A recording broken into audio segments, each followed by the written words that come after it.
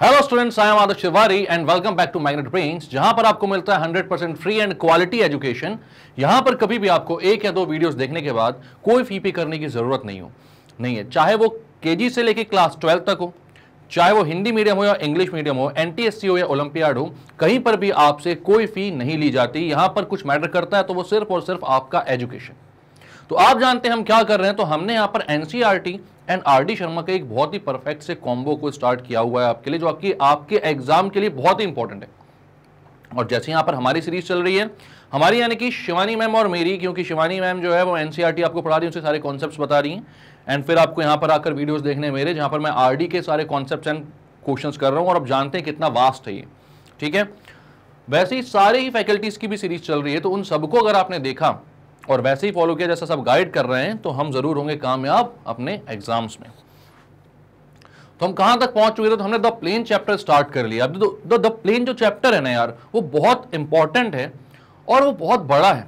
और आप यहाँ पर देखो कि इतने सारे टाइप्स जब हम करेंगे, हर टाइप का क्वेश्चन कहीं ना कहीं आया हुआ है एग्ज़ाम्स में। तो सारे टाइप करना बहुत ज़रूरी है और सारे टाइप्स एक दूसरे से बहुत ज़्यादा डिफरेंट नहीं है। अगर बेसिक कॉन्सेप्ट आपने पकड़ कर चल लिए तो फिर वो सारे टाइप के क्वेश्चन आपसे बहुत इजीली बन जाएँगे। लेकिन मैं यहाँ पर सब कुछ डिस्कस करूँगा अच्छे से और उसके इंपॉर्टेंट क्वेश्चंस को सॉल्व करूँगा तो आप कुछ भी स्किप मत करना, सब कुछ देखकर सब सॉल्व करते हुए चलना। तो हम कहाँ तक पहुँच चुके थे? हमें यहाँ पर फॉर्मूले देखने हैं एंगल बिटवीन टू प्लेन्स के। ठीक है? फॉर्मूला हम समझ लें कि दो प्लेन्स के बीच का एंगल क्या होता है, क्योंकि ये जो एंगल बिटवीन टू प्लेन का कॉन्सेप्ट है, अगर इसका डायरेक्ट क्वेश्चन नहीं भी आ रहा हो आपके एग्ज़ाम में तो ये कहीं ना कहीं किसी क्वेश्चन में, किसी एक क्वेश्चन का बीच का पार्ट बनकर आ जाता है। इसलिए इसका फॉर्मूला तो एटलीस्ट आपको पता होना ज़रूरी है। ठीक है? तो आप जानते हो, अगर आप किसी वेक्टर को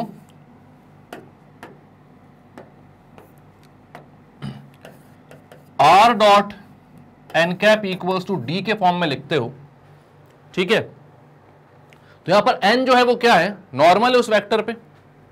ठीक है? तो यहाँ पर अगर आपके पास एक नॉर्मल है वेक्टर पे। या तो ये फॉर्म हो, या तो फिर आप ऐसे लिखते हो R dot N vector equals to A dot N vector जहाँ पर एन वैक्टर क्या होता है? एक परपेंडिकुलर होता है आर पर मतलब आर पर मतलब कि उस प्लेन पर। और ए वेक्टर होता है वो पॉइंट जहाँ से वो प्लेन होकर जा रहा है। ठीक है? तो यहाँ पर आपके पास परपेंडिकुलर तो हर फॉर्म में आ रहा है, जो एक ऐसा, एक ऐसी लाइन जो कि प्लेन पर कैसा परपेंडिकुलर है। ठीक है?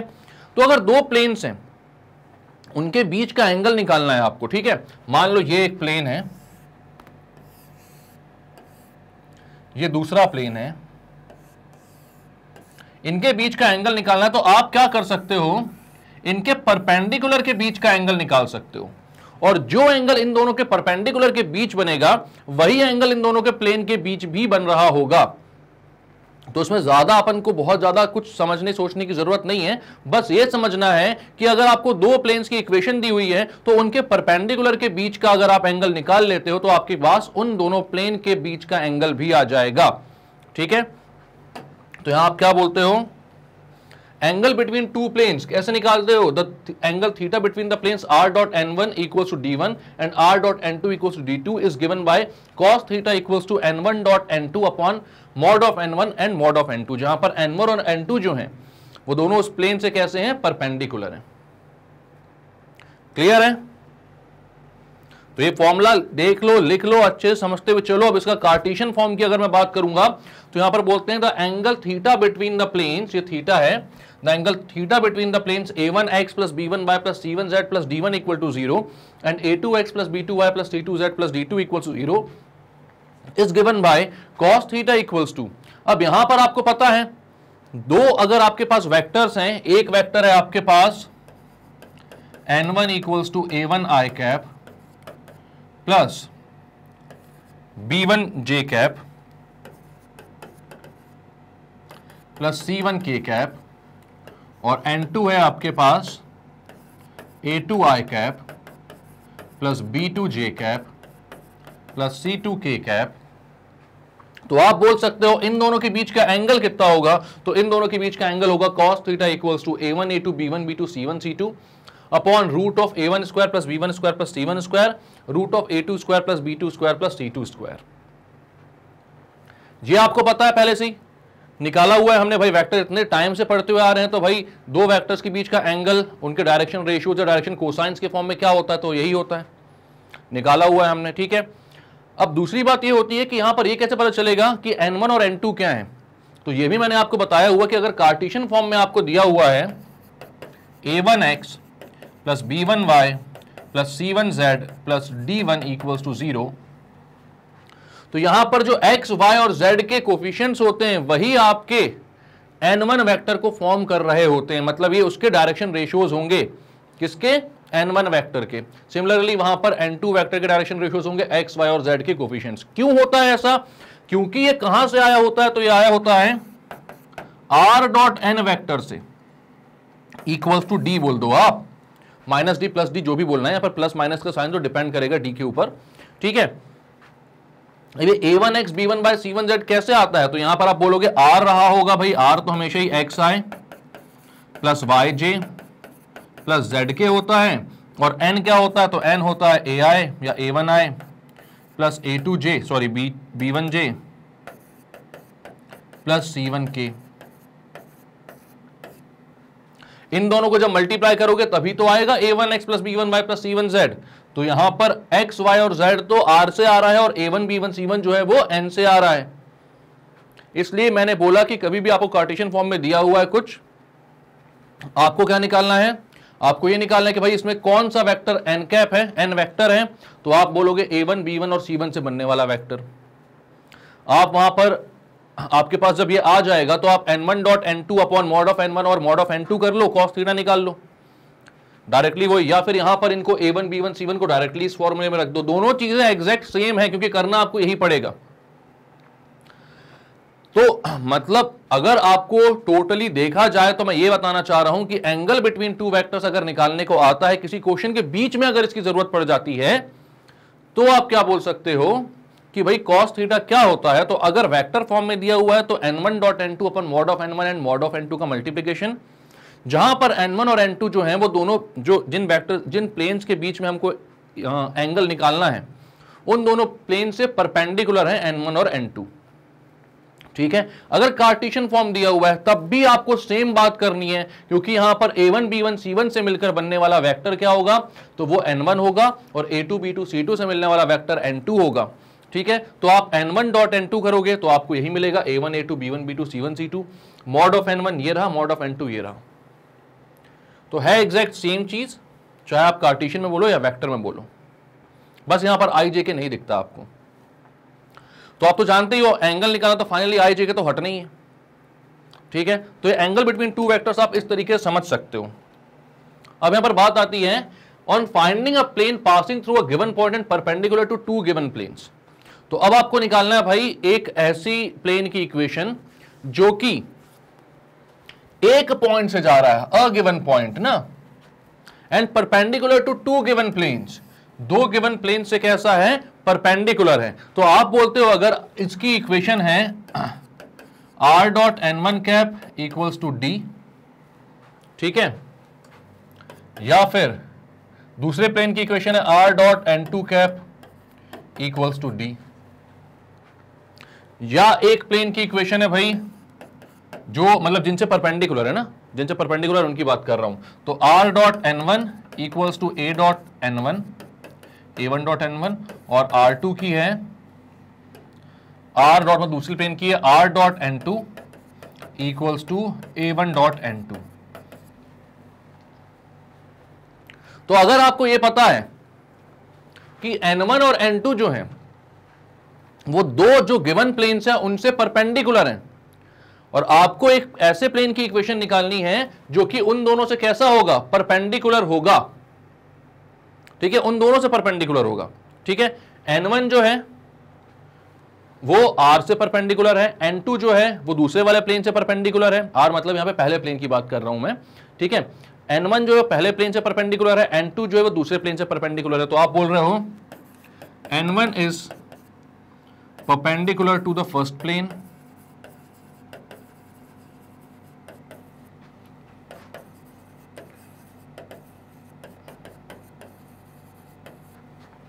and n2 is perpendicular to the second plane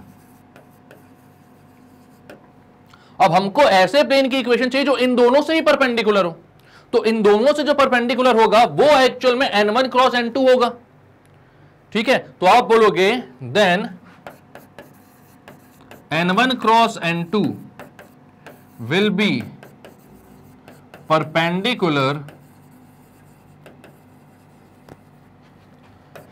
to the required plane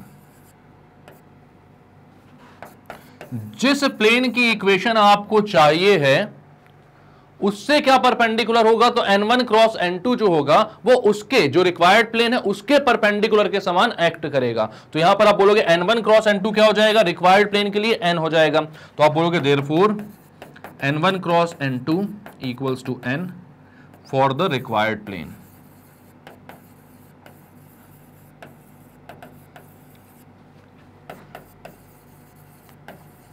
और मैं बोलता हूँ, अगर वो पास कर रहा है पॉइंट ए से, ठीक है and it passes through and if it passes through a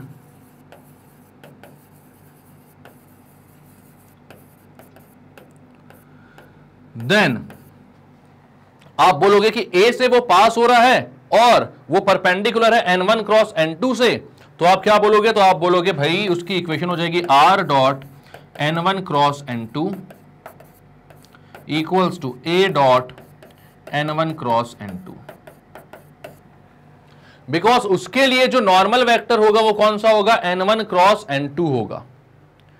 तो कुछ करना नहीं है, कुछ समझना नहीं, सोचना नहीं, बहुत ही आसान सी चीज़ है। जब आपको दो प्लेन की इक्वेशन दी हो और एक पॉइंट दिया हो और बोला हो, बोला गया हो कि भाई एक प्लेन की इक्वेशन निकालो, जो जिसमें ये वाला गिवन पॉइंट आ रहा है और वो गिवन जो दो प्लेन्स हैं, उनसे कैसा है? परपेंडिकुलर है।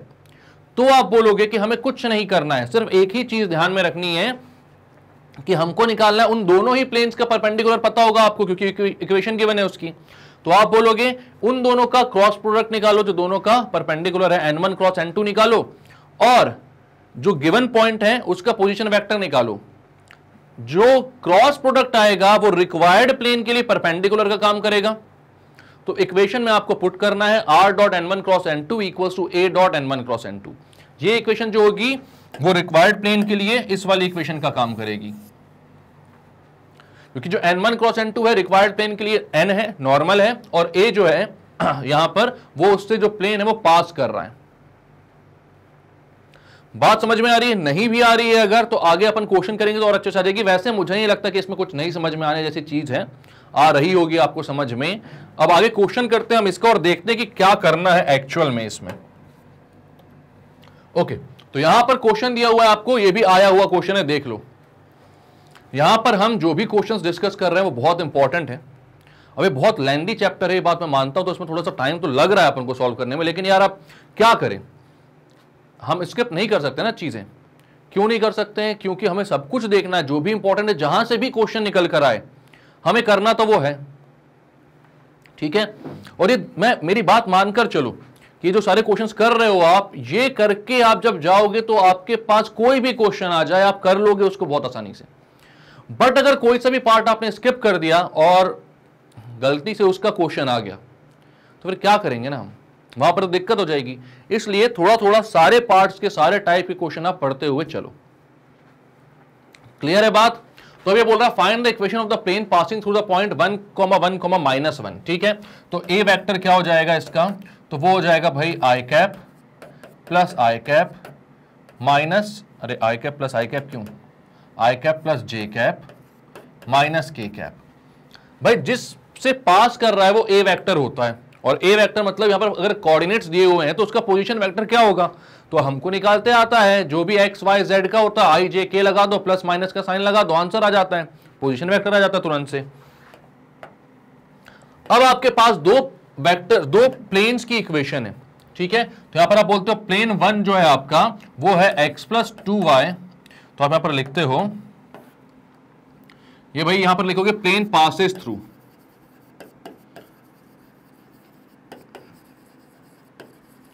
plane passes through this and plane is perpendicular to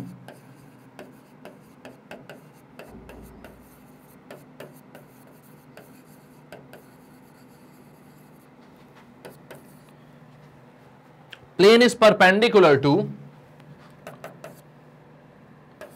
x plus 2y plus 3z minus 7 equal to 0. X plus 2y plus 3z minus 7 equal to 0 इससे वो परपेंडिकुलर है। कोई दिक्कत है इसमें आपको?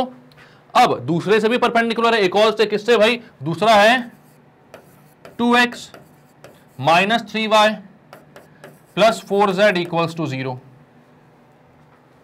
अब मैंने आपको बताया हुआ है कि अगर कार्टेशियन फॉर्म भी आपको मिल जाए तो आप इन दोनों ही जो प्लेन्स हैं, इनके परपेंडिकुलर्स आप निकाल सकते हो। क्या क्या करना है? एक बार शांत दिमाग से बैठते हैं। और सोचते हैं कि जब ऐसा क्वेश्चन आएगा तो हमें क्या करना होगा। सबसे पहला स्टेप, उस पॉइंट पर ध्यान देना होगा, जो हमें गिवन है, उसके पोजीशन वेक्टर निकालने होंगे। जिससे वो प्लेन पास हो रहा है तो हमने वो काम कर दिया। हमारा पहला जो पॉइंट है, वो है आई प्लस जे माइनस के ये उस पॉइंट का पोजीशन वेक्टर आ गया, जिससे वो प्लेन पास हो रहा है। स्टेप नंबर टू तो स्टेप नंबर टू में क्या करना है? आपको गिवन है दो प्लेन जिनसे वो प्लेन परपेंडिकुलर होगा। आपको उस, उन दोनों ही प्लेन्स के नॉर्मल्स निकालने हैं। वन और एन निकालना है, ठीक है?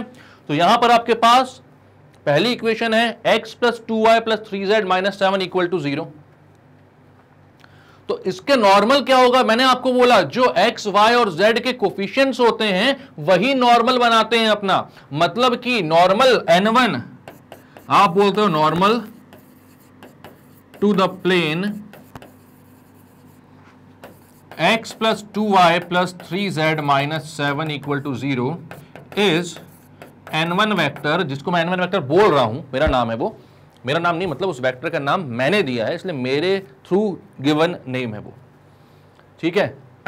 अब यहाँ पर x plus two y plus three z minus seven इसको आप बोलेंगे, x का कोफिशियंट कितना है? वन है। तो यहाँ पर आप बोलोगे वन आई कैप y का कोफिशियंट टू है तो टू जे कैप z का कोफिशियंट थ्री है थ्री के कैप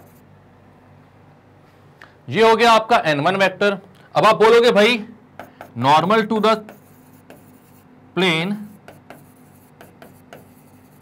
दूसरा वाला कौन सा है? Two x minus three y plus four z equals to zero तो यहाँ पर आप बोलोगे n one n two vector इसका क्या हो जाएगा? एक्स वाई और जेड का कोफिशियंट क्या है? भाई आई जे और के तो यहाँ पर आप बोलोगे two i cap minus three j cap plus four k cap ये हो गया आपका एन टू वैक्टर ये हो गया आपका एन वन वैक्टर कोई इसमें दिक्कत परेशानी नहीं होनी चाहिए आपको। बहुत ही आसान चीज़ है ये। ठीक है? अब आपके पास तीसरा पॉइंट क्या करना है? तो आपको यहाँ पर दोनों ही नॉर्मल्स का क्रॉस प्रोडक्ट निकालना है। मतलब आपको क्या करना है? तो आप बोलोगे n one cross n two हमको फाइंड करना है पहली फुर्सत में। ठीक है? तो n one cross n two के लिए अब आपको यहाँ पर ज़्यादा सोचना नहीं है यार। ये तो बहुत आसानी से जानते हो आप। पहला रो तो आई जे के होता है और दूसरा रो वन टू थ्री हो जाएगा। तो आपने बोला यहाँ पर आई जे के और दूसरी रो हो जाएगी वन टू थ्री तीसरी रो हो जाएगी टू माइनस थ्री फोर इनके कोफिशियंट्स की रो बनती है ना यहाँ पर टू माइनस थ्री फोर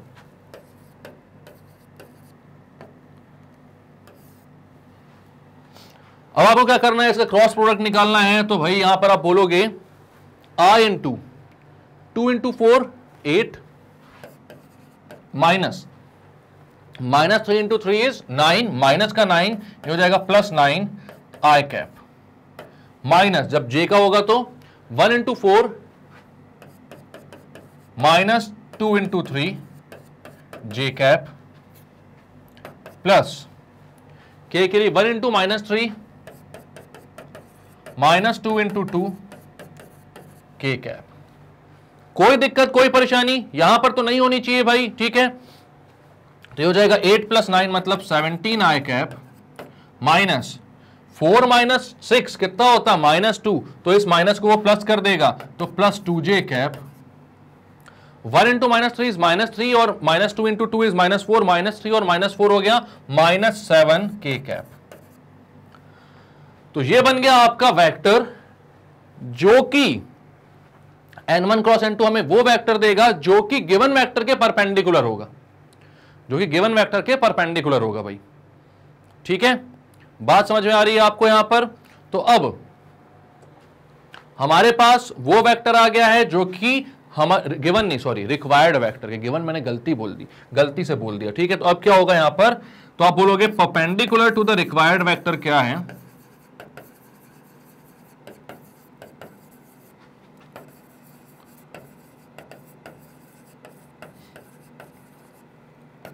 तो वो है एन इज़ इक्वल्स टू इसको एन बोल देते हैं अब सीधे, है ना? वो seventeen i cap plus two j cap minus seven k cap और जो रिक्वायर्ड वेक्टर है, वो पास किससे हो रहा है? तो सबसे पहली लाइन में जो हमने लिखा हुआ था, वो पास हो रहा है आई प्लस जे माइनस के से। तो यहाँ पर ए वेक्टर को आप लिखते हो आई प्लस जे माइनस के अब आपको क्या करना है? तो आपको यहाँ पर सिर्फ़ इतना सा ध्यान देना है कि भाई, हमें यहाँ पर इक्वेशन ऑफ़ प्लेन जो होती है, वो होती है r dot n vector equals to a dot n vector r तो आपको पता है r x i plus y j plus z k होता है। तो अभी अपन को आर की वैल्यू रखने की ज़रूरत नहीं, अपन वेक्टर इक्वेशन ही निकाल रहे हैं। कार्टिशन तो बोला नहीं है ना। बोला होता तो फिर डॉट प्रोडक्ट निकालकर कार्टिशन भी निकाल देंगे, उसमें कोई दिक्कत नहीं है। अभी हम बोलते हैं आर वेक्टर डॉट एन कितना है? तो seventeen i cap plus two j cap minus seven k cap equals to a vector जो है यहाँ पर, उसका डॉट प्रोडक्ट एन के साथ। तो ए डॉट एन अरे यार तो इसको लिख तो चुके हैं ना। ए डॉट एन कितना हो जाएगा? ए है अपना i plus j minus k dot seventeen i plus two j minus seven k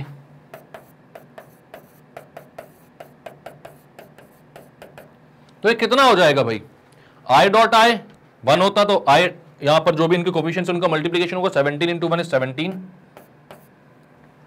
two into one is two minus seven into minus one is plus seven तो ये कितना आ गया? R dot n equals to कितना जाएगा? Seventeen और two nineteen plus seven twenty six तो ये हो गया भाई आपका आंसर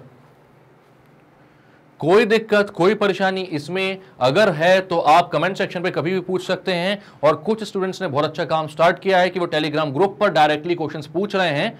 तो ये बहुत ही शानदार चीज़ है। अपना इंटरेक्शन भी कितना शानदार हो रहा है वहाँ पर अगर आपने ध्यान दिया होगा टेलीग्राम ग्रुप ज़रूर ज्वाइन कर लो आप लोग, है ना? अगर कोई भी डाउट होती तो हमें ज़रूर पूछ सकते हो आप लोग कभी भी। तो ज्वाइन करो यार, आपके बहुत ही फ़ायदे वाली चीज़ है वो। सोचो आप, मैग्नेट ब्रेंस ने कितना कुछ सोचा हुआ है। यहाँ पर अलग अलग टाइप की वेबसाइट्स खुली हुई हैं अलग अलग टाइप के एप्लीकेशंस खुले हुए हैं, जहाँ पर आपको डाउट्स वगैरह डालने पड़ते हैं सब्सक्रिप्शन लेना पड़ता है, उसके बाद डाउट्स पूछने पड़ते हैं। ठीक है, यहाँ पर तो आप भाई कभी भी डाउट डालो, आराम से आपको आंसर मिल जाएगा। एकदम वन टू वन डाउट पे भी डाउट पूछ सकते हो। मतलब ऐसा नहीं है कि आपने क्वेश्चन डाला है और उसका सिर्फ़ सॉल्यूशन मिल गया और आप खुश हो गए। नहीं। आप उसके सॉल्यूशन में यह भी पूछ सकते हो कि, सर, ऐसा यहाँ पर ऐसा क्यों आया? जैसे कल की बात है टेलीग्राम ग्रुप पे क्या मस्त डिस्कशन हो रहा था। मतलब किसी स्टूडेंट ने कुछ क्वेश्चन पूछा, उसका मैंने एक सॉल्यूशन दिया तो उसने ये पूछा कि, सर, ऐसा सॉल्यूशन क्यों नहीं हो सकता दूसरे तरीके से? तो वो बहुत ही जेन्युइन डाउट लगा मुझे कि हाँ भाई, ये ऐसा पूछ सकता है और ये जनरल लोगों को आता होगा ये क्वेश्चन तो फिर मैंने उसको भी क्लियर किया, और वहाँ पर बहुत सारे अच्छे अच्छे क्वेश्चन लोग पूछते हैं। तो आपके भी बहुत सारे डाउट्स क्लियर हो जाएँगे वहाँ पर। जो आपके मन में होता है, आप कहीं पर पूछ नहीं पाते हैं स्कूल में या कोचिंग में। खड़े होकर पूछने में कई बार हमें इस बात की झिझक आ जाती है कि यार, सामने वाला ये तो नहीं सोचेगा कि कितना कॉमन डाउट है। भाई, कोई भी क्वेश्चन कोई भी सवाल कॉमन नहीं होता। हर सवाल खास है। आपके दिमाग में अगर कोई भी क्वेश्चन है तो वो पूछना बहुत ज़रूरी है, क्योंकि जब तक वो क्वेश्चन बना रहेगा, तब तक आपके डाउट्स क्लियर नहीं होंगे। मैं जो भी पढ़ाता हूँ, जहाँ पर मैं कुछ भी करवा रहा हूँ तो कहाँ, क्यों, कैसे करवाया मैंने, उस पर आप क्वेश्चन पूछ सकते हो अगर आपको वो चीज़ समझ में ना आई हो तो। वैसे मैं जनरली सारे क्वेश्चंस में, सारे जो अपनी थ्योरम्स में ये बताने की कोशिश करता हूँ कि क्या चीज़ क्यों आई है, ताकि आपके मन में डाउट ना हो। फिर भी रह जाता है तो ज़रूर उस ग्रुप को ज्वाइन करें और वहाँ पर क्वेश्चन पूछें। ठीक है?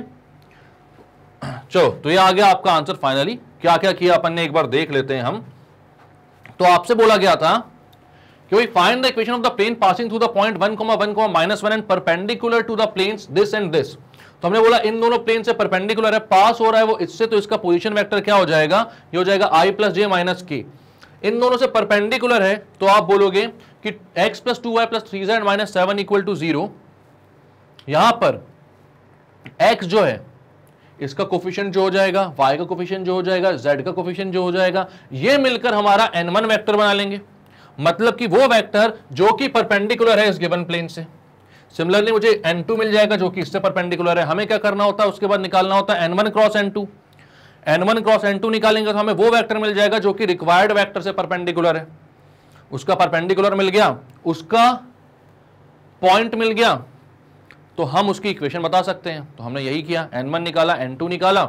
इन दोनों का निकाला क्रॉस प्रोडक्ट उसके बाद n1 क्रॉस n2 हमारा n वेक्टर आ गया और ए वेक्टर हमारा वो वाला वेक्टर हो गया आई प्लस जे माइनस के मतलब कि जिससे वो पास हो रहा है। हमने इस इक्वेशन में पुट किया आंसर आ गया आपके पास। R dot seventeen i plus two j minus seven k equal to twenty six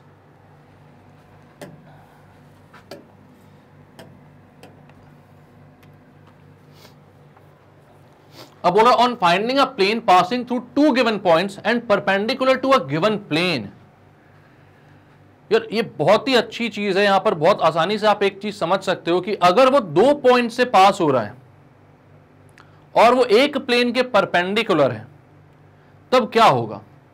मतलब दो पॉइंट से अगर वो पास हो रहा है, ठीक है तो आप बोलते हो, ये एक प्लेन है, ठीक है, ये दो पॉइंट से पास हो रहा है, जो कि है पी क्यू इसको मैं बोल रहा हूँ पी इसको मैं बोल रहा हूँ क्यू ठीक है? अब इसको मैं बोल देता हूँ ए वेक्टर इसका जो पोजीशन वेक्टर है, इसको मैं बोल देता हूँ बी वेक्टर पोजीशन वेक्टर दोनों के ठीक है? अब वो एक से पास हो रहा है और दूसरे प्लेन के वो कैसा है? परपेंडिकुलर है। दूसरे प्लेन के वो परपेंडिकुलर है। तो आप बोलोगे, अगर मैं बोलता हूँ दूसरे प्लेन के वो परपेंडिकुलर है, दूसरा प्लेन में कहाँ पर बना सकता हूँ? तो कहीं यहाँ पर मैं बनाता हूँ दूसरा प्लेन जिससे हमारा रिक्वायर्ड प्लेन कैसा है परपेंडिकुलर है।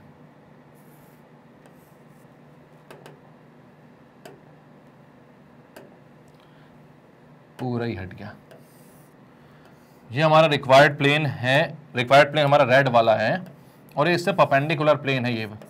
इन दोनों के बीच का 90 डिग्री का एंगल बन रहा होगा, ठीक है? तो इसका भी एक नॉर्मल होगा। इसको मैं एन वन बोल देता हूँ। ठीक है? और ये पी क्यू है। अब आप एक बात बताओ मुझे, थोड़ा सा सोचकर कि ये दोनों प्लेन परपेंडिकुलर हैं। तो इस प्लेन का जो नॉर्मल होगा, वो इस प्लेन के परपेंडिकुलर होगा कि पैरेलल होगा? आप खुद सोचो, ये एक प्लेन है, ये दूसरा प्लेन है, दोनों एक दूसरे में परपेंडिकुलर है ना, सोचना। तो ये जो पहले प्लेन का नॉर्मल है, ये वाला पेन जो है मेरा, ये दूसरे प्लेन के कैसे आ रहा है? तो आप बोलेंगे वो तो पैरेलल आ रहा है। मतलब उस प्लेन के पैरेलल है अगर हमारा पहला वाले, दूसरे वाले प्लेन का नॉर्मल और एक एक वेक्टर मुझे पी क्यू मिल रहा है, ये भी उस प्लेन के ऊपर आ रहा है। ठीक है? तो दो पैरेलल वेक्टर्स मिल गए मुझे उस प्लेन के। तो मैं क्या बोल सकता हूँ कि अगर इन दोनों वेक्टर्स का मैं क्रॉस प्रोडक्ट निकालूँगा तो मुझे एक ऐसा वेक्टर मिलेगा जो कि गिवन प्लेन के सॉरी रिक्वायर्ड प्लेन के परपेंडिकुलर हो जाएगा। बात समझ में आ रही है? क्या बोल रहा हूँ? एक और बार सुनो अच्छे से। हमें यहाँ पर जो सॉल्यूशन हमें यहाँ पर जो इक्वेशन निकालने को बोला गया है, उसमें बोला गया है कि एक प्लेन की इक्वेशन निकालो, जो कि किसी गिवन प्लेन से परपेंडिकुलर है तो ये हमारा जो ब्लू वाला है, वो गिवन प्लेन है। रेड वाला जो है, वो रिक्वायर्ड प्लेन है। अब ये परपेंडिकुलर है ब्लू वाले प्लेन से। ठीक है? तो मैंने बोला कि वहाँ पर, और वो दो पॉइंट से पास भी हो रहा तो दो पॉइंट्स पी और क्यू हैं। उनके पोजीशन वेक्टर्स ए और बी वेक्टर मैंने ले लिए। अब मैं यहाँ पर ये देखता हूँ कि अगर जो गिवन प्लेन है, उसका एक नॉर्मल होगा। और given plane is perpendicular to the required plane तो ये आपस में वैसे ही परपेंडिकुलर है। तो गिवन प्लेन का जो नॉर्मल होगा, वो रिक्वायर्ड प्लेन के पैरेलल होगा। ठीक है? अब अगर वो रिक्वायर्ड प्लेन के पैरेलल है, और जो यहाँ पर भाई अपना पी क्यू वैक्टर आएगा, वो भी पैरेलल होगा तो इन दोनों ही वेक्टर्स का एन वन का और पी क्यू का, जब हमें निकालना होगा क्रॉस प्रोडक्ट तो वो जो वेक्टर निकल कर आएगा, वो कौन सा वेक्टर मिलेगा? तो आप बोलोगे n one cross p q जो मिलेगा, वो हमेशा हमेशा आपको एक ऐसा वेक्टर मिलेगा जो कि रिक्वायर्ड प्लेन के परपेंडिकुलर होगा। तो आपको ये समझ में आ गया कि कैसे आपको इक्वेशन निकालनी पड़ेगी? तो यहाँ पर क्या क्या करना पड़ेगा भाई? मान लो, जो गिवन प्लेन है, उसकी इक्वेशन है गिवन प्लेन है आपको, उसकी इक्वेशन है r dot n one vector a one dot n one vector तो यहाँ पर आपको ये समझ में आ जाएगी given plane is perpendicular to n one vector ठीक है? तो आप क्या लिखोगे यहाँ पर? Given plane is perpendicular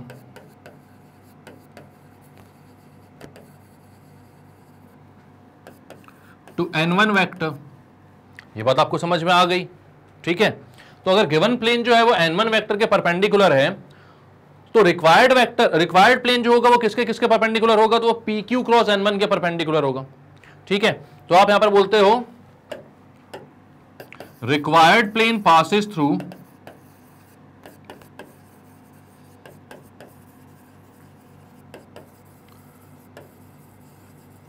required plane passes through points p and q तो कौन कौन से पॉइंट को पास कर रहा है वो पी एंड क्यू का? पी का जो पोजिशन वैक्टर है वो ए वैक्टर है। क्यू का पोजिशन वैक्टर बी वैक्टर है तो आप बोलोगे पी क्यू वैक्टर क्या हो जाएगा? वो हो जाएगा बी माइनस ए वैक्टर आपने बी माइनस ए वैक्टर निकाल लिया। इसके बाद आप बोलोगे vector perpendicular to the required plane एक वेक्टर जो कि रिक्वायर्ड प्लेन जो कि हमें निकालना है, उसके परपेंडिकुलर है तो वो वेक्टर कौन सा होगा? तो आप जानते हो कि n one cross p q जो होगा, वो रिक्वायर्ड वेक्टर के परपेंडिकुलर होगा। तो आप बोलोगे n one cross p q ठीक है? तो आपने n one cross p q निकाल लिया, वो आपको मिल गया। कौन सा वेक्टर एन वेक्टर रिक्वायर्ड का एन वेक्टर मतलब नॉर्मल ठीक है? तो इसी को आप क्या बोलोगे? Therefore n vector equals to n one cross p q n vector मतलब कि ये जो हमारा नॉर्मल जो फॉर्म होता है ना r dot n equals to a dot n उसमें जो एन वैक्टर आएगा मतलब रिक्वायर्ड वैक्टर का परपेंडिकुलर वैक्टर ठीक है? एंड एंड कोई सा भी एक कोऑर्डिनेट जिससे वो प्लेन पास हो रहा है, ठीक है तो आप बोलते हो कि and passes through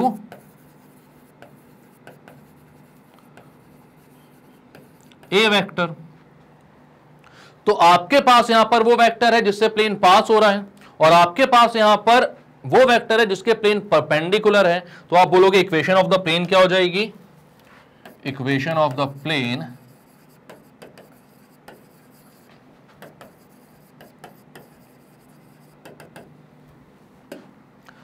हमें पता है कि इक्वेशन ऑफ़ द प्लेन होती है r dot n vector equals to a dot n vector यहाँ पर आर तो आर ही रहेगा भाई, क्योंकि इक्वेशन वही फॉर्म करवाता है। आर हमारा नॉर्मल एक x i plus y j plus z k का वैक्टर होता है। ठीक है? और एन क्या है यहाँ पर? तो यहाँ पर एन वैक्टर जो निकल कर आया वो है n one cross p q vector तो यहाँ पर n one cross p q लिख देता हूँ मैं। इक्वल्स टू यहाँ पर क्या देखना है? तो पता ही अपन को भाई कि ए वेक्टर के पैरेलल है वो तो। यहाँ पर आप क्या लिखोगे? Equals to a dot n होता है तो a dot n one cross p q अब एक बात आप ध्यान देना, ये आ गई ज़रूर वेक्टर इक्वेशन आपकी यहाँ पर। ठीक है? बट इसको याद करने मत बैठ जाना। क्योंकि कोई सेंस नहीं है इसको लर्न करके जाने का। हमें पता है कि ये चीज़ कहाँ से आती है, कैसे आती है, और आपको एक बात बहुत अच्छे से पता है कि भाई यहाँ पर ये देखने में बड़ी डिफ़िकल्ट रहे। लेकिन जब हम डिफ़िकल्ट तो खैर ये भी नहीं है, लेकिन जब हम क्रॉस प्रोडक्ट वगैरह निकाल लेंगे तो उसके बाद एक जो इक्वेशन आएगी वो बहुत ही सिंप्लीफाइड वे में होगी, जिसको हम बहुत अच्छे से जानते हैं। तो आप हमेशा याद रखना कि ये जो प्लेन वाला जो थ्री डी जोमेट्री का आपके जो चैप्टर्स हैं, इनमें फॉर्मूले याद करने का इतना मत सोचना। वरना इतने सारे फॉर्मूले हैं कि आप यही भूल जाओगे कि कितने फॉर्मूले हैं, कहाँ कहाँ पर कौन से लगते हैं। इससे अच्छा आप वेज याद करो कि अगर ये चीज़ें दी हुई हैं तो आप इक्वेशन ऑफ़ वेक्टर तक कैसे पहुँच सकते हो? इक्वेशन ऑफ़ प्लेन तक। ठीक है? तो आपको बेसिकली चाहिए होता है एक पॉइंट जिससे वो प्लेन पास कर रहा हो और एक वेक्टर जो कि उस प्लेन से नॉर्मल हो परपेंडिकुलर हो। तो अगर ये दोनों चीज़ें आपको कहीं से भी मिल जा रही हैं तो आप इक्वेशन ऑफ़ प्लेन फॉर्म कर सकते हो, क्योंकि अल्टीमेटली वहीं पर ही पहुँचना है आपको। R dot a is equal to r dot n is equal to a dot n पर। ठीक है तो यहाँ पर ये सारी चीज़ें याद मत करने लगना। हमें क्या करना है तो हमें इसका वे ध्यान रखना है कि हमने क्या क्या किया था। तो हमने यहाँ पर क्या किया था, आपको यह दिया हुआ था कि जो रिक्वायर्ड प्लेन है हमारा, वो किसी एक प्लेन से परपेंडिकुलर है।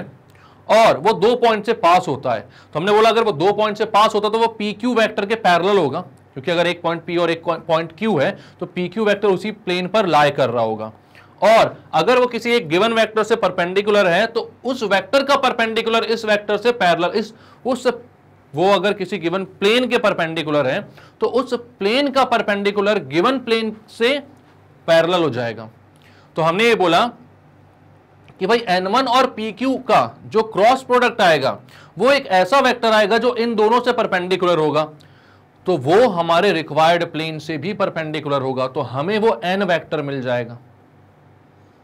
ठीक है? जो कि हमें चाहिए होता है कौन सी इक्वेशन में? तो ये जो प्लेन की इक्वेशन निकालते हैं r dot n is equal to a dot n में। और ए तो भाई आपके पास दो दो हैं। ए मतलब कि यहाँ पर वो पॉइंट्स जिससे वो प्लेन पास हो रहा तो किसी भी एक के कोऑर्डिनेट्स आप रख सकते हो। जनरली आपने जिसको भी ए माना होगा, उसके कोऑर्डिनेट्स रख लेना।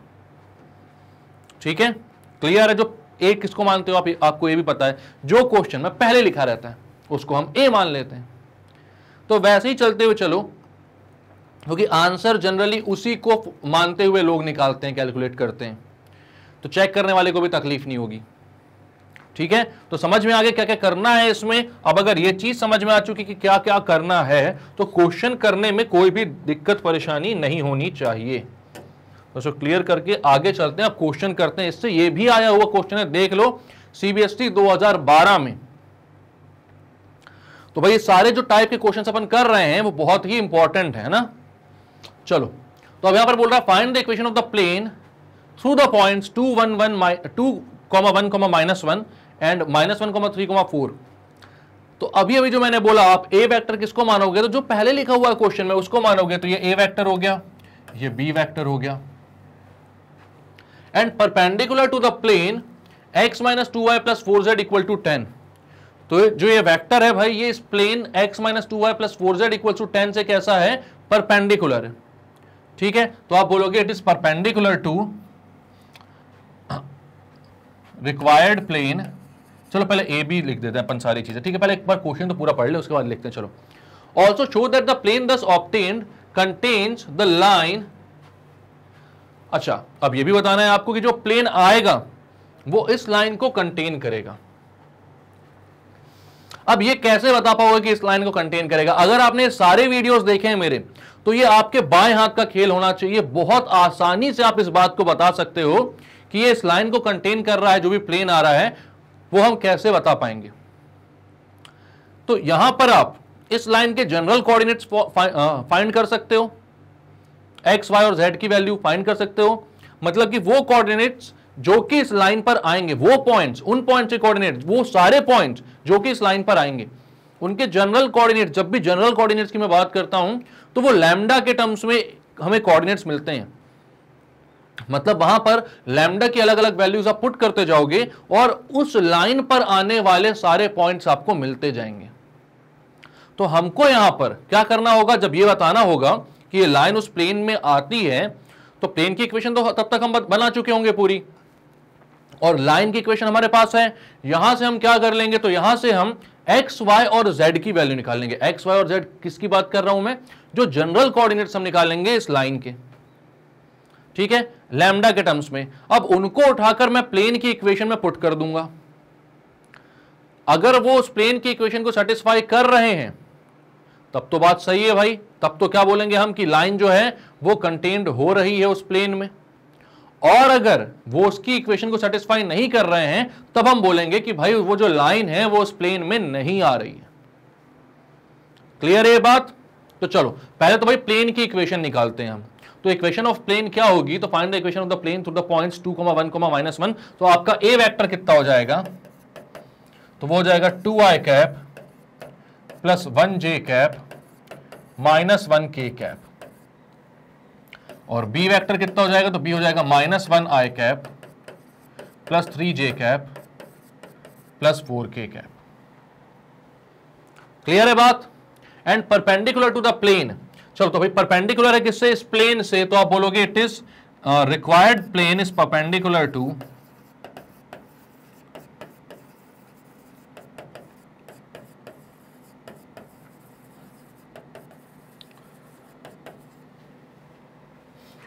x minus two y plus four z equals to ten x minus two y plus four z equal to ten से वो परपेंडिकुलर है तो क्या हम इस वेक्टर का नॉर्मल निकाल सकते हैं? क्योंकि हमें यहाँ पर क्या क्या करना है? तो वही बात, एक बार शांति से सोचो। सबसे पहली बात तो हमें यह निकालना है कि ये जो प्लेन है, वो दो पॉइंट से अगर जा रहा है, दो पॉइंट से वो पास हो रहा है तो उस पॉइंट पर आने वाला जो पी क्यू वैक्टर होगा, उसका पोजिशन वैक्टर कितना आएगा? ठीक है? उसके बाद हमें निकालना है, जिस प्लेन के वो पपेंडिकुलर गिवन है, उस प्लेन का नॉर्मल क्या होगा? उस प्लेन के लिए एन वेक्टर कौन सा होगा? तो यहाँ पर इसका एन वैक्टर मतलब एन वन जो हमारे क्वेश्चन में हम जिसको एन वन रखकर सॉल्व करेंगे तो वो कितना हो जाएगा? तो आप बोलोगे normal to the given plane given plane के नॉर्मल क्या हो जाएगा? तो वो जाएगा एन वन वैक्टर मैं बोल रहा हूँ उसका उसका नाम एन वन दे दिया मैंने। और वो कितना हो जाएगा? तो यहाँ पर आपको मैंने बताया हुआ है एक्स वाई और जेड के कोफिशियंट से एक जो आप वेक्टर फॉर्म करोगे, वही आपका नॉर्मल हो जाएगा गिवन प्लेन के। तो यहाँ पर एक्स कोफिशियंट वन है तो आप बोलोगे one i cap minus two j cap plus four k cap तो one i cap minus two j cap plus four k cap ये आ गया आपका नॉर्मल वेक्टर ठीक है? अब आप क्या बोलोगे? आपके पास एन वन है। आपके पास पी क्यू नहीं है, ठीक है?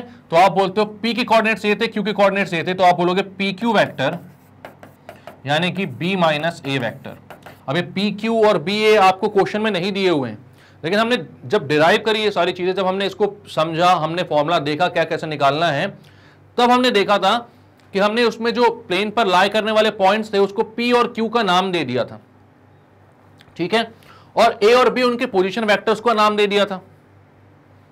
तो यहाँ पर पी क्यू वैक्टर होगा बी माइनस ए मतलब बी यानी कि जो सेकंड वाला है ए को माइनस कर दो। तो माइनस वन माइनस टू हो जाएगा minus three i cap three minus one हो जाएगा plus two j cap four minus minus one हो जाएगा प्लस फाइव के कैप तो ये आपके पास आ गया पी क्यू अब आपको क्या निकालना है? तो आप बोलोगे vector normal to the required vector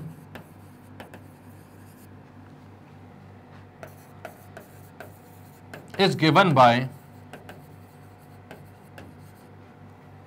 तो ऐसा वेक्टर जो कि रिक्वायर्ड वेक्टर के नॉर्मल है, वो कैसे मिलेगा आपको? तो वो आपको मिलेगा, ये जो हमारे पास N1 है और ये जो PQ है, इनके क्रॉस प्रोडक्ट से तो आप बोलोगे ये हो जाता है। तो वो मिलता है आपको N1 क्रॉस PQ से। ठीक है? PQ आपने निकाल लिया है N1 आपने निकाल लिया है आपको दोनों का क्रॉस प्रोडक्ट चाहिए है, ठीक है? एन वन निकाला ना? हाँ ये रहा। One i minus two j plus four k. तो आप बोलते हो n one cross p q कितना हो जाएगा?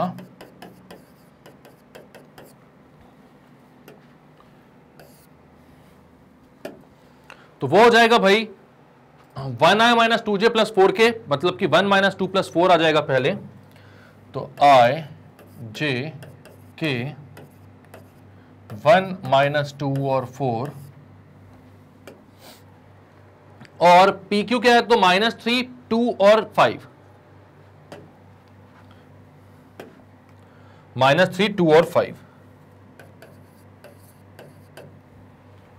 तो यहाँ पर क्या करना है अब आपको? तो यहाँ पर इनका हमें निकालना है क्रॉस प्रोडक्ट तो क्या करोगे आप? आप बोलोगे n one cross p q कितना हो जाएगा? आई को छुपाओ भाई। Minus two into five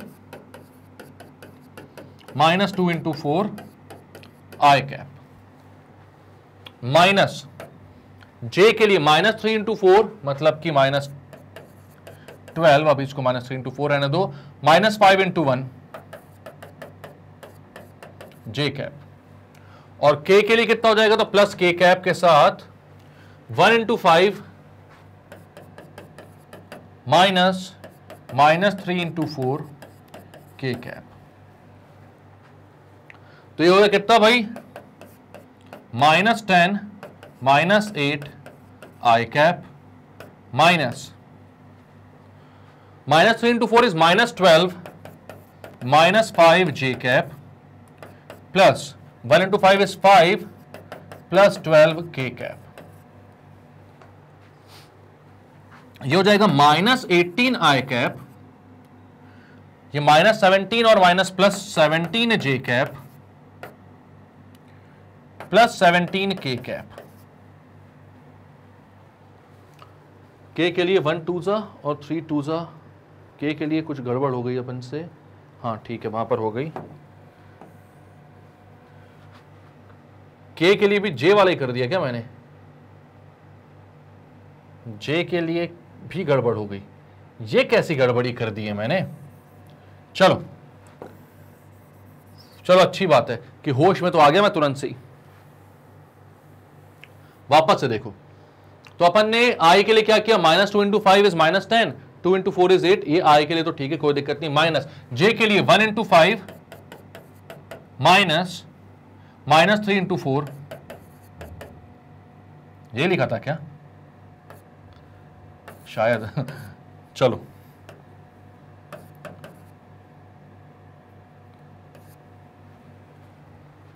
के के लिए प्लस के के लिए आप क्या लिखोगे? One into two minus minus three into minus two मतलब कि minus three into minus two is minus into minus plus plus six ठीक है तो ये कितना आ जाएगा? माइनस टेन माइनस एट मतलब minus eighteen i cap minus one into five is five minus three into minus four is minus twelve और इस माइनस से वो क्या हो जाएगा? प्लस तो प्लस ट्वेल्व और प्लस फाइव हो जाएगा सेवनटीन तो मतलब जे भी सही था अपना इससे पहले। मैंने ज़बरदस्ती इसको कट किया।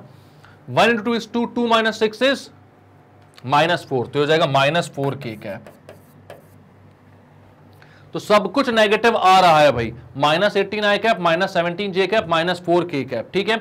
यह आ रहा है आपका n one cross p q आपके पास n one cross p q आ गया। ठीक है?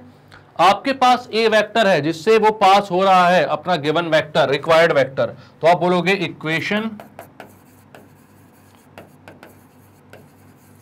of the required vector तो रिक्वायर्ड वेक्टर की इक्वेशन क्या हो जाएगी? तो वो जाती है भाई आर डॉट एन वन या n cap equals to a dot n cap n vector ठीक है? तो आर डॉट एन वैक्टर तो r dot minus eighteen i minus seventeen j minus four k equals to a dot n तो ए कितना है आपका? पहला वाला वेक्टर अपना ए कितना था? Two i plus one j minus one k तो आप लिखते हो two i cap plus one j cap minus one k cap dot n vector वही अपना minus eighteen minus seventeen, minus four k. Minus eighteen i minus seventeen j, minus four k. इसको लिख रहने दो भाई r dot minus eighteen i cap, minus seventeen j cap, minus four k cap equals to two into minus eighteen is minus thirty six. One into minus seventeen is minus seventeen minus one into minus four is plus four तो ये कितना हो जाएगा भाई? Minus seventeen plus four हो जाएगा minus thirteen minus thirteen और thirty six मतलब माइनस फोर्टी नाइन तो ये हो जाएगा r vector equals to eighteen i plus seventeen j plus four k equals to forty nine मतलब माइनस आएगा, दोनों के माइनस से माइनस आप कैंसिल आउट कर सकते हो, क्योंकि यहाँ का जो माइनस आएगा, यहाँ पर आप लाकर स्केलर से डिवाइड कर सकते हो, पूरे वेक्टर्स के जो भी कोफिशियंट्स है उनको, बात सेम आएगी। यहाँ से माइनस कॉमन निकालकर वहाँ के माइनस से कैंसिल आउट कर सकते हो, कोई दिक्कत नहीं होगी, ठीक है? या फिर माइनस में ही आंसर लिखे भी रहने दे सकते हो, उसमें भी कोई दिक्कत नहीं होगी। क्लियर है बात? क्योंकि अगर आपको ये पता है कि minus eighty nine minus seventeen j minus four k जो है, वो परपेंडिकुलर है वैक्टर के मतलब यहाँ पे n one cross p q आप बोलो, या p q cross n one बोलो, दोनों ही तो परपेंडिकुलर होंगे वेक्टर के। एन वन पहले क्यों पी बाद में क्यों, ऐसा क्या भला कर दिया एन वन ने? ज़रूरी थोड़ी है।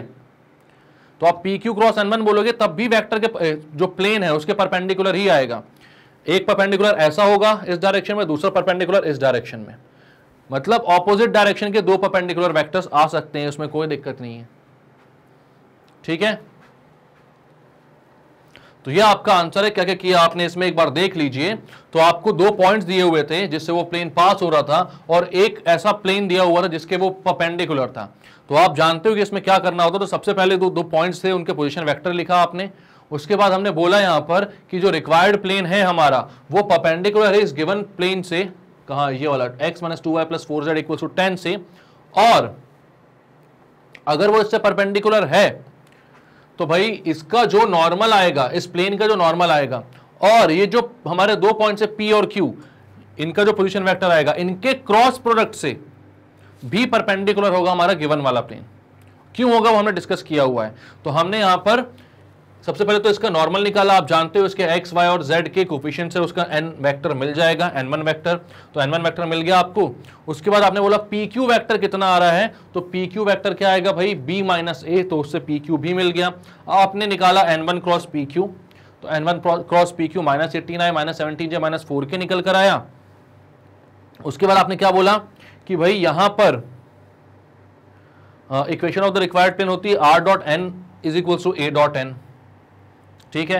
यहाँ पर पुट कर दी इक्वेशन आ गई आपके पास कितनी? आर डॉट एटीन अब यहाँ पर अगर मैं इसका कार्टिशियन फॉर्म बोलूँ कार्टिशियन फॉर्म क्यों बोल रहा हूँ बताऊँगा अभी मैं आपको। इसका मैं कार्टिशियन फॉर्म अगर निकालने को बोलूँ आपको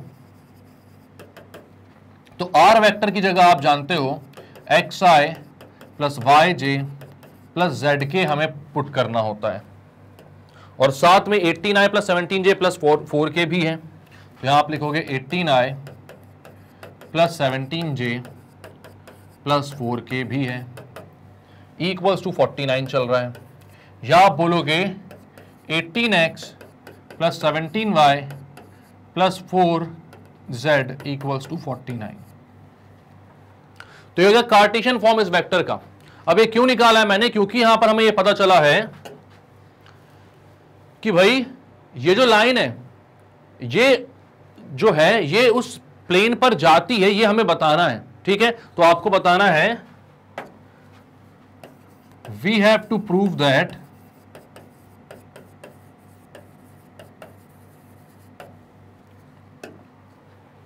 this line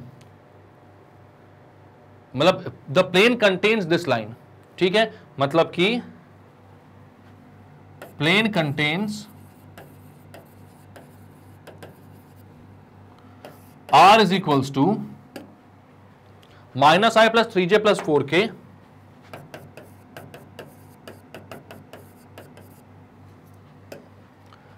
plus lambda three i minus two j minus five k.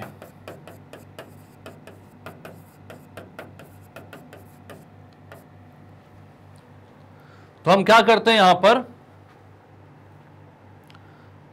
ये जो आर है, और मतलब ये जो आर है हमारे पास, इससे हम क्या करते हैं? एक्स वाई और जेड की वैल्यू निकालते हैं। हमारे coordinates of x y and z निकालते हैं, ठीक है? तो यहाँ पर आप बोलोगे सबसे पहले तो इसको बोल सकता हूँ minus i plus three j plus four k plus three lambda i minus two lambda j minus five lambda k अब आप क्या बोलोगे यहाँ पर? यहाँ पर हो जाएगा three lambda minus one i plus three minus two lambda j plus four minus five lambda k और यहाँ पर क्या हो जाएगा? X i plus y j plus z k अब हम क्या करते हैं? इस पूरी इक्वेशन को उठाकर क्या करते हैं? यहाँ पर पुट कर देते हैं। ठीक है? इस पूरी इक्वेशन को उठाकर एक्स वाई और जेड की जगह मैं पुट कर देता हूँ। तो क्या आता है? Putting in equation of the plane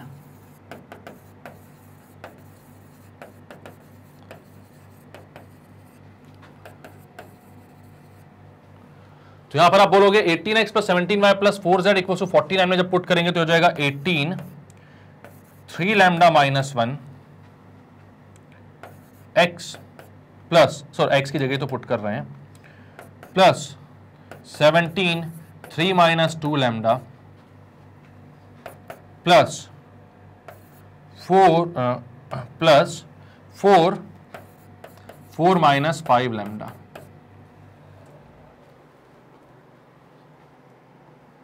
ठीक है? तो ये आ गए हमारे पास, और इक्वल्स टू कितना आ रहा है ये? तो ये इक्वल्स टू आ रहा है भाई 49 इसमें कोई दिक्कत, कोई परेशानी? मतलब इक्वल टू आना चाहिए। लेफ़्ट हैंड साइड को जब मैं देखूँ तो वो इक्वल टू आना चाहिए 49 के, ठीक है? ये बात क्लियर है आपको? तो अब आप क्या करते हो यहाँ पर? मतलब सेटिस्फाई करने का मतलब ये है ना कि इक्वेशन को सेटिस्फाई करें मतलब left hand side right hand side को बैलेंस कर दे। तो अब यहाँ पर आप मल्टीप्लाई करना स्टार्ट करते हो, ठीक है? लेफ़्ट हैंड साइड लेकर चलते हो आप यहाँ पर। आप बोलते हो L H S eighteen into three lambda हो जाएगा fifty four lambda minus eighteen into one हो जाएगा, माइनस एटीन। मतलब माइनस वन है, इसलिए माइनस एटीन हुआ भाई। सेवनटीन इंटू थ्री हो जाएगा fifty one seventeen into two lambda minus का तो हो जाएगा, minus thirty four lambda plus four into four is sixteen. Minus twenty lambda equal to, sixteen minus twenty lambda equals to forty nine. Forty nine equals to क्यों? Left hand ओहो, कहाँ चला गया मैं? लेफ़्ट हैंड साइड लेकर चल रहे हैं ना हम तो हमको तो अभी प्रूव करना है कि ये 49 के इक्वल होगा। होगा कि नहीं होगा, वो देखना पड़ेगा। आप बोलते हो 54 four lambda minus thirty four lambda तो हो जाएगा 20 लैमडा 20 लैमडा माइनस चलो सारे लैमडास को एक साथ करता हूँ तो हो जाएगा 54 four lambda minus thirty four, minus twenty हो जाएगा, माइनस फिफ्टी फोर लैमडा। ठीक है तो लैमडा से लैमडा तो कैंसिल होता हुआ दिख रहा है। 51 प्लस सिक्सटीन हो जाएगा आपका 67 माइनस एटीन करोगे तो हो जाएगा 49 तो आ गया भैया 49 जो कि आरएचएस के इक्वल है। तो आपने क्या बोला कि भाई जब हमने उस लाइन के सारे पॉइंट्स को उठाकर, उस लाइन के सारे पॉइंट्स को रिप्रेजेंट करने वाले जो जनरल कोऑर्डिनेट्स थे, उनको उठाकर हमने प्लेन की इक्वेशन में पुट किया। प्लेन की इक्वेशन में पुट किया तो उस पॉइंट्स उन सारे पॉइंट्स ने प्लेन की इक्वेशन को सेटिस्फाई कर दिया। मतलब कि वो जो लाइन है, वो प्लेन के ऊपर आती है। यानी जो प्लेन है, वो उस लाइन को कंटेन करता है। बात आई समझ? तो आपने क्या किया यहाँ पर? कार्टिशियन फॉर्म में सबसे पहले प्लेन का निकाला। ठीक है, क्या बोला वो तो क्वेश्चन में एक बार शुरुआत से देखते हैं लास्ट तक। खत्म करते हैं इस क्वेश्चन को फिर। तो यहाँ पर आपको बोला गया था find the equation of the plane through the points this and this हमने बोला ये ए पॉइंट है, ये बी पॉइंट है and perpendicular to the given plane this तो यहाँ से हम इस प्लेन का परपेंडिकुलर एन वेक्टर निकाल सकते हैं एन वन वैक्टर यहाँ से हमने पी क्यू वैक्टर निकाला, ठीक है? Then n one cross P Q निकाला, क्योंकि हमें पता है n one cross P Q required vector के परपेंडिकुलर होगा। और फिर रिक्वायर्ड वेक्टर का परपेंडिकुलर जब आ गया हमारे पास तो हमने क्या किया? ए वेक्टर जो कि हमारा जिससे पास हो रहा था प्लेन ए वेक्टर उसको इस इक्वेशन पुट कर दिया। R dot n equal to a dot n में। एन हमारा 18 minus eighteen minus seventeen minus four निकला था। माइनस कॉमन निकाल लो। तो 18 है 17 जे फोर के, और यहाँ पर माइनस फोर्टी आया था तो उसको माइनस से कैंसिल कर दिया हमने। तो 49 के इक्वल आ रहा है। ये हमारे वेक्टर इक्वेशन आ गई थी प्लेन की। हमको अब देखना था कि जो एक लाइन दी हुई है हमें प्लेन उसको कंटेन करता है। Minus i plus three j plus four k, plus lambda three i minus two j minus five k. Plane इसको कंटेन करता। है तो आप क्या बोलोगे?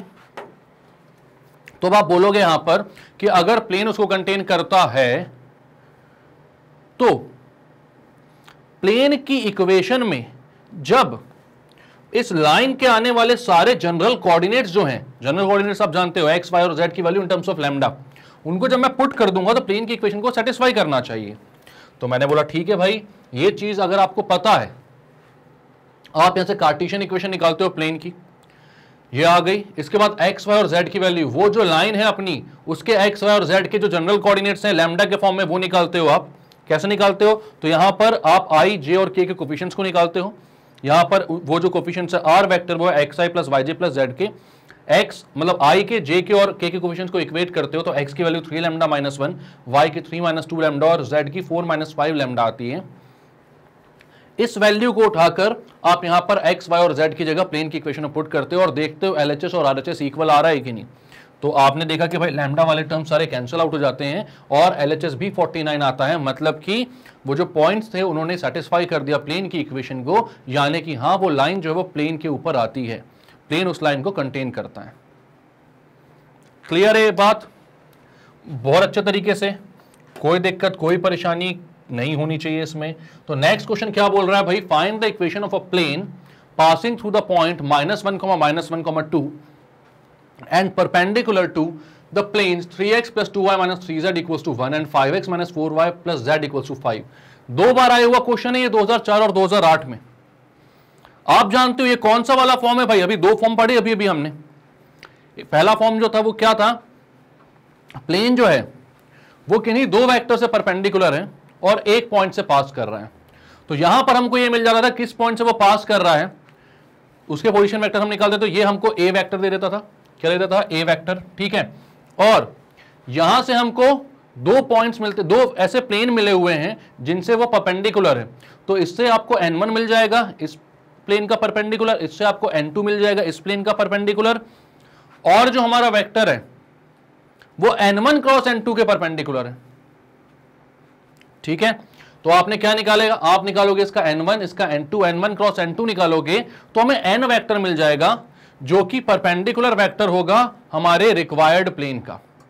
तो रिक्वायर्ड प्लेन किस पॉइंट से पास हो रहा है हमें वो पता चल जाएगा और रिक्वायर्ड प्लेन किस वेक्टर से परपेंडिकुलर है वो पता चल जाएगा। तो इक्वेशन ऑफ़ प्लेन निकालने में हमें कोई दिक्कत होगी नहीं भाई। तो एक बार इसको पॉज करके आप लोग खुद ट्राई करो। तो भाई यहाँ पर सबसे पहले तो आपको ए वेक्टर बनाना है। ए वेक्टर कितना होगा, उसका पोजीशन वेक्टर कितना होगा? तो वो होगा minus i cap minus j cap plus two k cap n one vector कितना होगा? तो एन वन वैक्टर आप जानते हो। यहाँ पर आप इतना समझ गए हो कि डायरेक्ट लिख सकते हो आप सारी चीज़ें, है ना? तो एन वन वैक्टर कितना होगा? एक्स का वाई का और जेड का कोफिशियंट जो है वो एन वन वैक्टर बनाएँगे आपका। तो three i cap plus two j cap minus three k cap ये एन वन हो गया। और एन टू कितना हो गया? Five i cap minus four j cap plus k cap z का कोफिशियंट वन है वहाँ पर तो के कैप अकेला। ठीक है? अब आपको क्या निकालना है?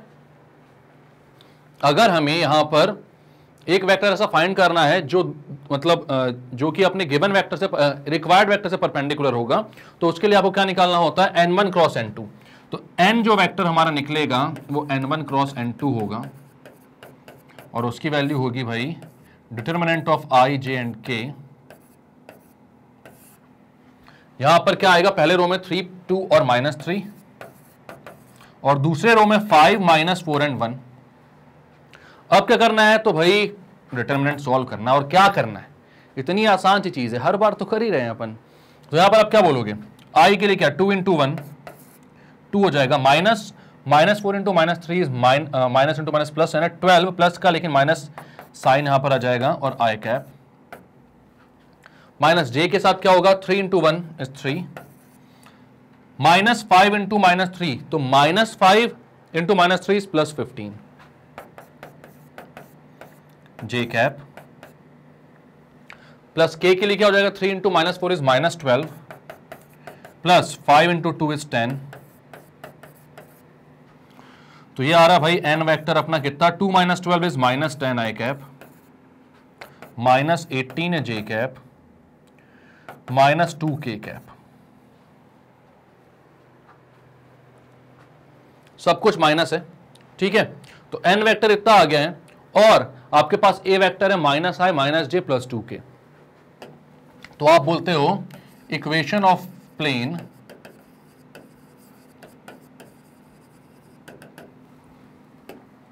तो इक्वेशन ऑफ़ प्लेन क्या आ जाएगी? तो वो आ जाएगा भाई r dot n vector equals to a dot n vector तो आर तो अपना आर ही रहेगा। एन वेक्टर कितना है? तो एन वेक्टर है आपका minus ten minus eighteen minus two minus ten i cap minus eighteen है j cap minus two k cap equals to a dot n vector a कितना है आपका? तो a minus one minus i minus j plus two k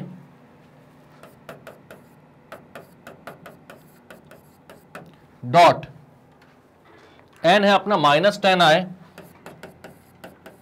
minus eighteen j minus two k.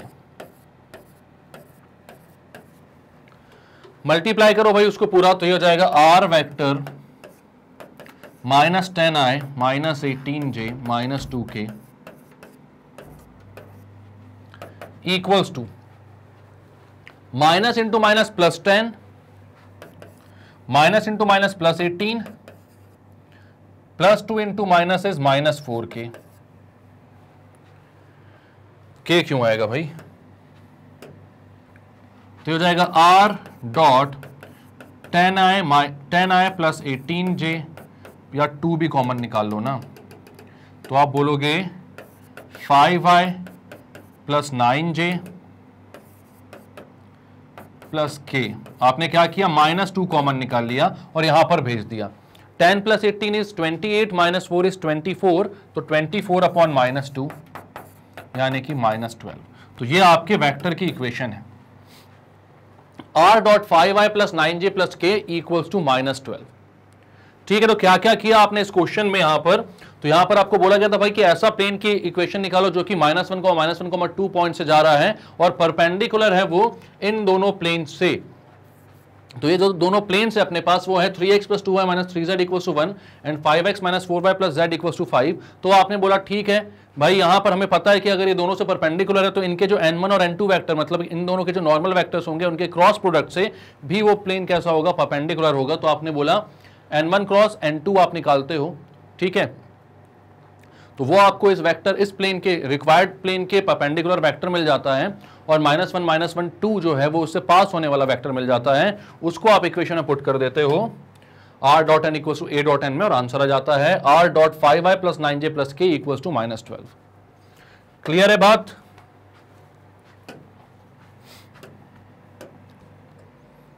Next question ये भी आया हुआ question है, देख लो भाई। और अब वही वाला पॉइंट कौन सा? कि दो पॉइंट से पास हो रहा है प्लेन और परपेंडिकुलर है एक प्लेन से। तो इससे पहले वाले में दो प्लेन के परपेंडिकुलर और एक पॉइंट से पास होने वाला था। ठीक है, वो फॉर्म भी हमने पढ़ा था, उसके क्वेश्चन भी किया था। अब उसका क्वेश्चन हमने एक्सरसाइज का भी कर लिया। अब यहाँ पर भी ये भी आया हुआ क्वेश्चन और ये क्या है? इन दोनों पॉइंट से पास हो रहा है। Two comma one comma minus one and minus one comma three comma four से। और वो परपेंडिकुलर है X minus two Y plus four Z equal to ten के। तो कैसे क्या करना है? एक बार शांत हो जाओ आराम से। उसके बाद सोचो कि कैसे क्या करना होता है इसमें। सबसे पहले तो हमें यह देखना होता है कि ये पॉइंट पी है हमारा, ये पॉइंट क्यू है, इसका पोजीशन वेक्टर है ए वेक्टर इसका पोजीशन वेक्टर है बी वेक्टर ठीक है? यहाँ से हमें एन वन वैक्टर मिलेगा, जो कि इस प्लेन के परपेंडिकुलर होगा, और रिक्वायर्ड प्लेन के पैरेलल होगा।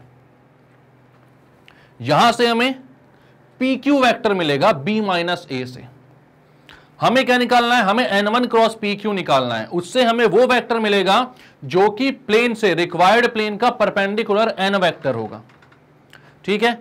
और हमारे पास ये वेक्टर तो पहले से ही है भाई। ये पॉइंट तो पहले से जो कि पास हो रहा है उस प्लेन से। तो हमारे पास एक पॉइंट जो कि प्लेन पर है, वो मिल जाएगा और एक वेक्टर एन वेक्टर जो कि प्लेन से परपेंडिकुलर है, वो मिल जाएगा। तो हम इक्वेशन ऑफ़ द प्लेन निकालेंगे कैसे? R dot N is equal to A dot N से। तो अब ये सारी बातें एकदम दिमाग में रट जानी चाहिए आपको, और इतने सारे क्वेश्चंस और भी कर लो आप। इसको भी कर लो एक एक बार और और भी क्वेश्चंस कर लो आप, जितने हम अभी तक करें उस टाइप के, और उसके बाद इसको एकदम ऐसा कर लो कि दोबारा देखने की ज़रूरत ही ना पड़े। जितने टाइप के मैं क्वेश्चन करवा रहा हूँ, उनकी प्रैक्टिस अच्छे से कर लो यार। जिस दिन ये वीडियो देखते हो ना, उसी दिन उस टाइप के तीन चार क्वेश्चन और कर लिया करो। सफिशियंट है वो मोर देन सफिशियंट है उतनी प्रैक्टिस जितना मैंने करवाया, जितने तीन चार क्वेश्चन और ऐड करके कर लिया आपने प्रैक्टिस कर ली उसके अच्छे से तो अब उसके बाद आपको दोबारा देखने की ज़रूरत नहीं पड़ेगी। फिर तब देखना जब एग्ज़ाम आने वाला होगा तो एक बार गो थ्रू कर लेना एक एक बार क्वेश्चन एक एक टाइप कर लेना, आपको ज़रूरत दोबारा नहीं पड़ेगी। क्लियर है? तो इस तरीके से करते हुए चलो यार।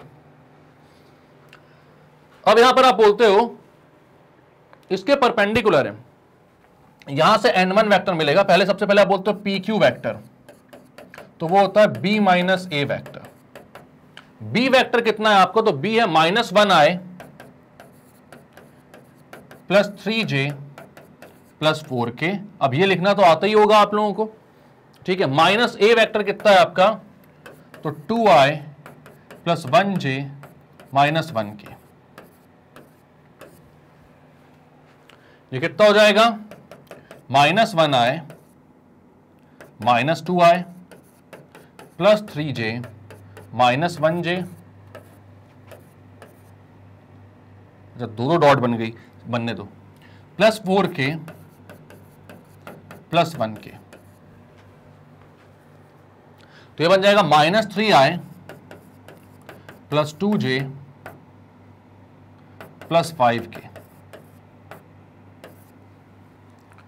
ये आपका वो वेक्टर बन गया, कौन सा? पी क्यू वैक्टर, जो कि प्लेन के ऊपर आ रहा है। ठीक है? अब आपको यहाँ से x minus two Y plus four Z से एन वन वैक्टर चाहिए। तो एन वन वैक्टर कैसे निकलेगा भाई? इस प्लेन के परपेंडिकुलर वैक्टर कैसे निकलेगा? x, y और z के कोफिशियंट्स को देखकर। x का कोफिशियंट यहाँ पर वन तो हो जाएगा one I cap minus two J cap plus four K cap ये एन वन आ गया।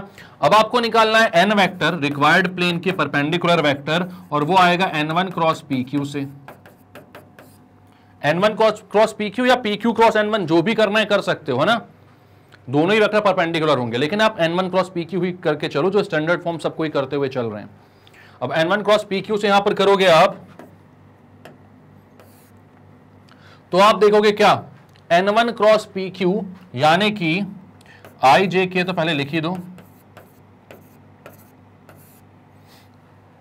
उसके बाद एन वन तो एन वन कितना है आपका? वन माइनस टू फोर और पी क्यू है माइनस थ्री टू फाइव। तो कितना आ जाएगा भाई ये? Minus two into five is minus ten. Minus two into four is eight. I cap. Minus J के लिए one into five is five. Minus minus three into four is twelve. K cap. उसके बाद, के नहीं, J cap.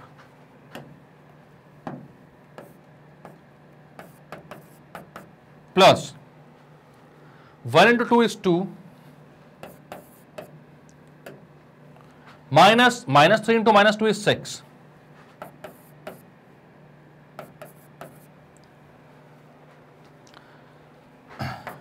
हो जाएगा minus eighteen I cap. Minus seventeen J cap, minus four K cap, minus eighteen I cap, minus seventeen J cap, minus four K cap. Clear है बात? अब आपके पास एन आ गया। ए आपके पास पहले से ही है। ए कितना है आपके पास? Two I plus one J minus K तो आप बोलोगे equation of the required plane R dot N is equals to A dot N हो जाएगा।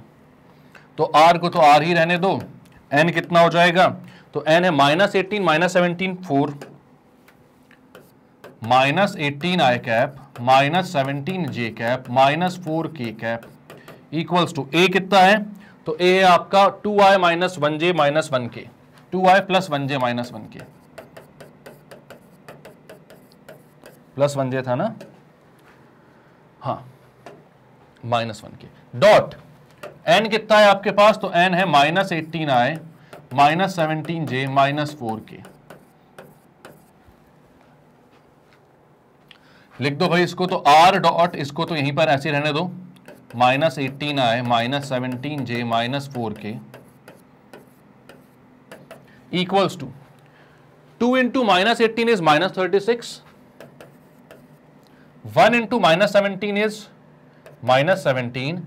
Minus one into minus four is plus four यार ये एग्जैक्ट वही क्वेश्चन तो नहीं हो गया।